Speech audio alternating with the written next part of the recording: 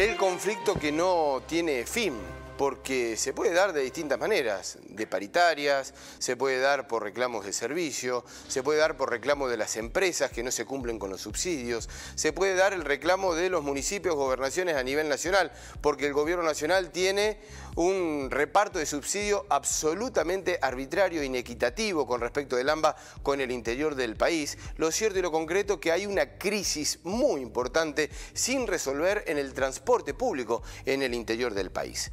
En contacto con Gerardo Ingaramo, el presidente eh, de la FATAP. ¿Cómo le va Gerardo? Muchas gracias por atendernos. ¿Qué tal? Buenos días, ¿cómo están ustedes? Bien. Bueno, qué momento complicado. Eh, cuéntenos, ¿cuál es el momento que está atravesando hoy por hoy el transporte del interior del país?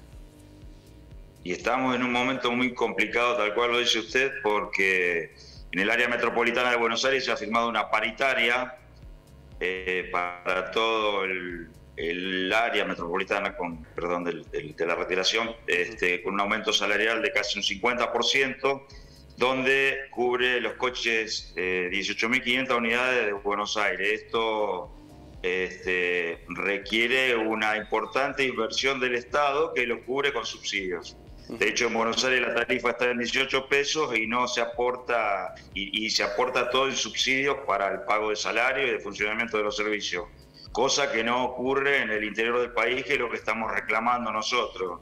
Una equidad en el reparto de los subsidios y que podamos hacer frente al pago de salario y al funcionamiento también, porque si no tenemos que ir eh, indefectiblemente a un aumento de tarifa, que no se descarta por otro lado y lo están evaluando en distintas localidades. ¿no? Es un conflicto que viene desde hace mucho tiempo, esta situación del transporte del interior en general, eh, Ingaramo. Este último conflicto que hemos tenido, que estamos observando ahí, por ejemplo, con algunas movilizaciones de los choferes, que dicen, nosotros lo reclamamos a las empresas porque son las que nos pagan. Lo cierto es que también hay algunas voces que están en conjunto con ustedes en la misma sintonía, como gobernadores, como secretario de Transporte, como mismo UTA de distintas seccionales, marcando esta situación ¿no? absolutamente inequitativa con respecto al AMBA. A ver, esto eh, hasta el 2018, el, año 2018, eh, nosotros recibíamos en el interior del país un 40% eh, de las asignaciones que se hacían por subsidio. El AMBA el 60, nosotros el 40. En el 2019, el pacto fiscal que firmaron los gobernadores nos deja sin subsidio a todo el transporte del interior y empieza la crisis de transporte porque pasamos de 30 mil millones a 5 mil millones por año. Hoy, eh, sin duda que es un problema latente. Ayer hubo reunión del Comité Federal de Transporte que nuclea las 23 provincias en la ciudad de Córdoba donde ellos han manifestado que no van a participar hoy de la nosotros tenemos paritaria ahora a las 11, no van a participar porque no son parte, pero en realidad este, tienen que aportar porque los fondos que provienen provienen de nación, de provincias, o sea, acá hay disposiciones que están tomando los gobiernos para decir, bueno, en el área metropolitana se, aportan 20 mil millones de pesos por mes para 18 mil unidades para que el boleto cueste 18 pesos. En el interior se aportan 3.200 millones para 12 mil colectivos, más los aportes provinciales que rondan los 2 mil millones de pesos mensuales este, que, a ver, un colectivo en Buenos Aires recibe un millón cien mil pesos por mes de subsidios y nosotros 500 mil. Esto está dentro de los costos, o sea, yo el a mí me dicen, tenés que cobrar tanto, o sea, el boleto de Santa Fe vale 59 porque hay aporte de subsidios, si no costaría 136 pesos hoy la, tarifa. Y con el agravante de que en el último aumento tarifario que, que tuvimos, el gasoil valía 84 pesos, hoy estamos pagando 130, o sea que no es un conflicto que termine ahora, no es solamente la paritaria, vamos a tener que discutir qué transporte se quiere para el interior, no puede ser que al área metropolitana se le aporten todos los fondos y nosotros, si queremos un país federal, deberíamos ser equitativos y repartir para todos iguales.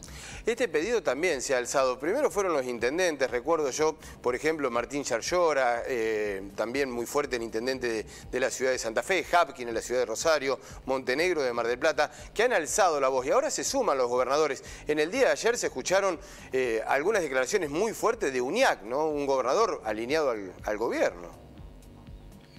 Exactamente, porque, a ver, eh, hay, gobernadores como UNIAC, por ejemplo, que aportan eh, a las empresas del Estado, pues son empresas, perdón, empresas privadas, pero el Estado aporta la compra de unidades, aporta más fondos que otras, que otras provincias y tuvo un paro de transporte. Entonces no, no entiende por qué ocurre esto. La UTA eh, tiene un problema porque en el interior del país son de segunda. O sea, los trabajadores nuestros todavía no cobraron el aumento y en Buenos Aires ya recibieron casi 47 mil pesos de, de, aumento salarial. Entonces, eh, todos levantan la voz porque eh, es lógico es incomprendible que sigamos discutiendo después de dos años cuánto le corresponde o no le corresponde y quién le pone cascabel al gato, porque el problema lo tenemos nosotros, las empresas.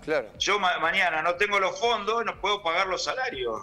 Este, no liquidan los subsidios y no tenemos para el pago del salario. Entonces, eh, y después hay 1.500 voces que hablan, pero no se entiende cuál es la situación real.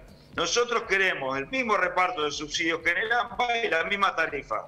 Si dan los mismos fondos que en el AMBA, la tarifa debería ser igual. Es irrisoria una tarifa de 18 pesos para Buenos Aires. A ver, estamos en un contexto de una crisis y una inflación galopante y el boleto de 18 pesos. Cuando acá vale 59, en Córdoba vale 59, en Rosario vale 59 y debería estar como mínimo en 75 pesos hoy por los aumentos que hubo en estos seis meses. Entonces, si no, no ponemos eh, la situación en un contexto real y nos vamos a seguir equivocando y vamos a seguir discutiendo entre nosotros cosas que hay que llevarla al fuero federal. Hay que sentarse, se tiene que sentar las partes. Nosotros hoy tenemos audiencia. Si no está el Ministerio de Transporte de la Nación y no está en las provincias, no podemos resolver nada con nosotros. O sea que el conflicto va a escalar y ojo cómo escala. Ustedes conocen cómo son los gremios y es lógico porque hace seis meses que no reciben un aumento y la verdad que yo que, hablo con la gente nuestra acá en Santa Fe, la complicación es, bastante importante. A mí me llamó poderosamente la atención porque hay voces, eh, hay muchos representantes directivos o representantes gremiales de UTA, por ejemplo, Copelo en Rosario, el representante de UTA en San Juan, el representante de UTA en Córdoba, en donde estaban hablando de esta situación. Y sin embargo, el secretario general a nivel nacional, Fernández, dice, el problema es de las provincias. Y la nación, bueno, tiene un gesto de buena voluntad de enviarle algo de subsidio. Esa, esa situación es muy difícil de revertirla contra esa declaración de un secretario general nacional, ¿no? A ver, yo, eh, nosotros solicitamos desde la FATAP a UTA Nacional, al Ministerio de Trabajo y al Ministerio de Transporte participar en la paritaria que se firma con el AMBA, porque sabemos que si participamos podemos lograr fondos. si participamos después de ello, se suscitan estos problemas. Entonces, estamos en una situación eh, compleja, una situación difícil, pero a ver, nosotros hicimos una, una, propuesta al Ministerio de Transporte de Nación porque tenemos los números, porque creemos conveniente sentarnos a, a discutir algo antes. Se había logrado 46 mil millones de pesos anuales para este año, para todo el transporte del interior, de subsidios o de fondo compensador de 28 del año pasado a 46 mil ahora. Con el presupuesto no se aprobó, los números no están. Pero eh, el presidente de la Cámara de Diputados le garantizó a los gobernadores y el ministro también, eh, Guerrera, le garantizó a los gobernadores que esos fondos iban a estar. Entonces, sobre esos fondos, nosotros pedimos una distribución diferente que se incrementen. Estamos cobrando hoy 3.200 millones mensuales. Queremos que pase a 3.800 que las provincias hagan un aporte similar, o sea, incrementar 600 millones más por mes, con eso haríamos frente a la paritaria. Eh, los fondos son los mismos que están, no es que estamos pidiendo más. Que se distribuyan distintos y que las provincias se hagan cargo. Eso es fundamental, ¿no? Una redistribución, una distribución distinta, mucho más equitativo de los subsidios que ya están, no es que se necesita más plata. Eh, y más allá de resolver esta coyuntura, Ingaramo, lo que hay que resolver es el problema de fondo, ¿no? Lo que usted decía, sentarse, a dialogar y a pensar en un país más federal. Yo creo que hay que tener una ley federal de transporte, que hay que trabajarla, y no puede ser que el, área metropolitana va a terminar este año con 240 mil millones de pesos anuales de subsidio y nosotros con 46 mil. El número es muy claro, yo no tengo que explicar nada, por eso cuando hablamos creemos que lo hacemos con, un asidero importante. Gerardo Ingaramo, eh, representante de la FATAP, muchísimas gracias por el contacto para con Federal, es un placer.